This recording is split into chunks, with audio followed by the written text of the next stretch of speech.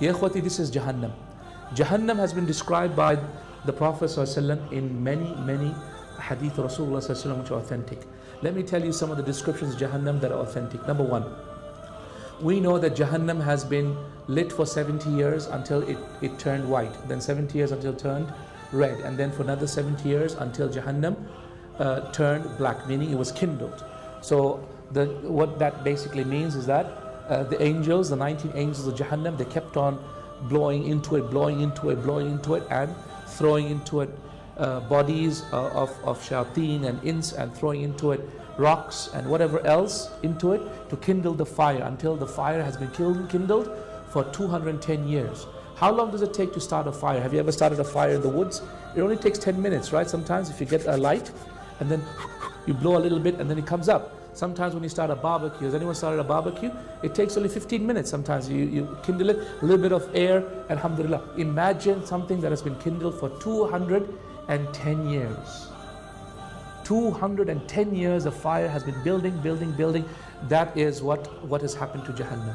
Number two, Jahannam is huge. The Prophet ﷺ told us that Jahannam has 70,000 rings. On each of the rings is a rope. On each of the rope is 70,000 angels. Huge, massive. We also know that Jahannam is insatiable. What does that mean? Insatiable means it, it every time you throw people, uh, uh, uh, throw people in there, the more hungry it gets. That's why Allah subhanahu wa ta'ala says in Surah Qaf, He said, يَوْمَ نَقُولُ لِجَهَنَّمْ On that day when we will call out to Jahannam, Halim talati, are you full? And Jahannam will say, Hal min mazid. Is there any more?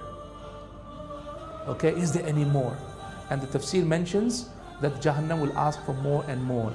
And it will not stop doing it until Allah puts his foot on Jahannam and squashes Jahannam. On that point, Jahannam will say, Bas, bas, that's it, that's it, Ya Rab, I'm full, I'm full. That's on the authentic hadith of Rasulullah. The third description of Jahannam is that the Prophet said that it is 70 times hotter than the hottest fire in this dunya. Okay? 70 times hotter than the hottest fire. What is the hottest fire that we know of in existence? Millions, millions of Kelvin, millions of Kelvin, which is the, uh, the, the temperature of the sun. So it is hotter than even the temperature of the sun, 70 times. And in the Arabic language, when you say 70, it means countless. Okay, that's why you know Allah says to Rasulullah even if you were to ask 70 times to forgive the non-Muslims, I would still not forgive them. That does not mean that only ask 71 times and Allah will forgive. No, it means 70 means in the word 70 in Arabic means countless. Right. Also, ya ikhwati, uh, the next description of Jahannam that has been given by Allah subhanahu wa ta'ala is that it is so huge and that the fire is so immense that it throws out sparks. And the sparks are so great that they are like castles. Allah subhanahu wa ta'ala says in the Quran, He says, إِنَّهَا تَرْمِي بِشَرَرٍ كَالْقَصْرِ كَأَنَّهَا جِمَالَةٌ صُفُرٍ It throws out sparks, and each spark is so huge, إِنَّهَا تَرْمِي بِشَرَرَ Verily it throws out sharara, which is sparks. كَالْقَصْرِ They are as huge as huge palaces. If you were to see them as the sparks come, have you seen the sparks when they weld and the sparks come out? Well, imagine that Jahannam has sparks that are coming out continuously. And when the sparks come out, remember how the sparks come and they just sometimes fall on the ground like that? Have you seen that? So the Quran says when it comes out, it is like a huge castle. And as it walks off or falls on the ground and, and goes off, كَأَنَّهَا جِمَالَةٌ سُفُرٌ It is as if they are red camels, a group of red camels when they are flowing out or they're running away. Can you imagine a pack of red camels? This is how huge the sparks are.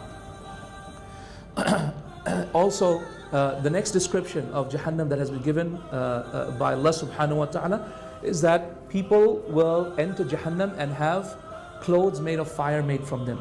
Clothes of fire. فَالَّذِينَ كَفَرُوا قُطِّعَتْ لَهُ ثِيَابٌ مِّن نَارٍ يُصَبُّ مِنْ فَوْقِ رُؤُسِهُ الْحَمِيمِ So as for the one who has disbelieved, then clothes made of fire will be, will be cut out for him. So we understand that that the Jahannam has clothes made of fire that people will wear. Clothes made of fire. The next description given by the scholars, I'm sorry, I'm forgetting what number I'm at. Uh, the next description that the Quran says is that Jahannam has a special uh, food that comes from a special tree. And that tree is called Zaqqum.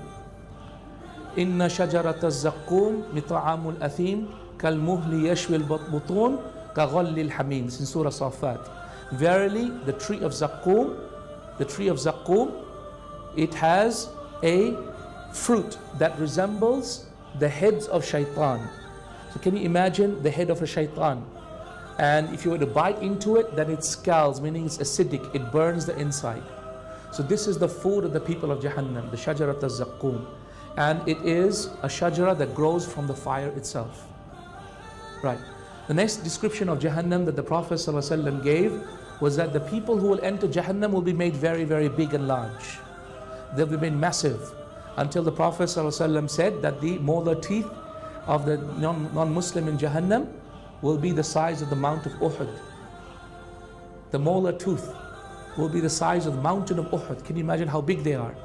And the Prophet ﷺ also said that the seat of a person in Jahannam, the seat, the chair that a person in Jahannam will sit on is the size of the distance between Medina and Mecca, which is approximately 500 kilometers.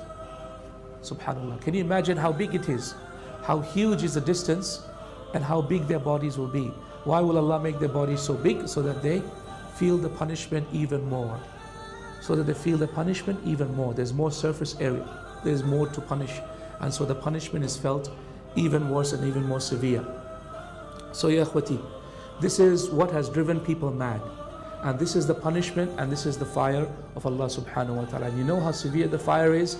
You know how severe the punishment is? That even a small amount of Jahannam, a small amount of, of the fire is enough to make your brains boil. We know that Abu Talib will have the least of the punishment, the Prophet's uncle will have the least of punishment, which is a sandal made from fire, but his brains will boil from it. Authentic hadith in Sahih Muslim. Also, we know that, that Jahannam is a place of ambush. We know that Jahannam is a place of place of ambush.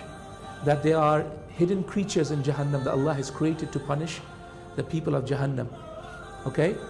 Uh, and that's in Surah uh, uh, Surah in Juz Amma, uh, uh, in, in Surah Naba, Allah subhanahu wa ta'ala says that Jahannam is a place of إنها كان مرصادا للطاغين مآبا Verily, inna Jahannama kanat mirsada. Verily, Jahannam is a place of ambush. And this, the tafsir of, of that verse mentions that there are all these wondrous creatures Allah has created in Jahannam, all made of fire, that will pounce upon the people of Jahannam in order to bite upon them. So, Yakhwati, this is Jahannam. May Allah subhanahu wa ta'ala protect you and me from it, and our families from it. And may Allah subhanahu wa ta'ala uh, keep us away from it and and write for us safely from Jahannam today. O oh Allah, make us from those people who are safe from Jahannam.